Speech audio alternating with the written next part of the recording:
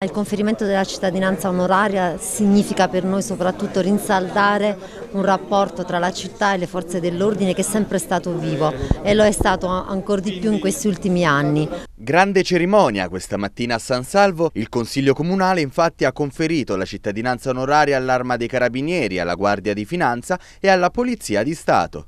Una prassi simbolica per ringraziare i tutori dell'ordine costituito e per premiare il lavoro svolto su un territorio di confine come quello di San Salvo. Se non viene assicurata la cornice di sicurezza, la civile convivenza non si può svolgere. Un territorio come il nostro, che possiamo dire ancora sano, certamente molto esposto, ma ancora sano, può esserlo ancora di più se questo rapporto di collaborazione leale e di presenza sul territorio delle forze dell'ordine continua ancora per gli anni a venire. Il comune però è stato beffato dal destino. Appena qualche giorno prima della cerimonia, programmata già da tempo, due carabinieri proprio della stazione di San Salvo, un comandante luogotenente e un maresciallo, sono finiti agli arresti domiciliari.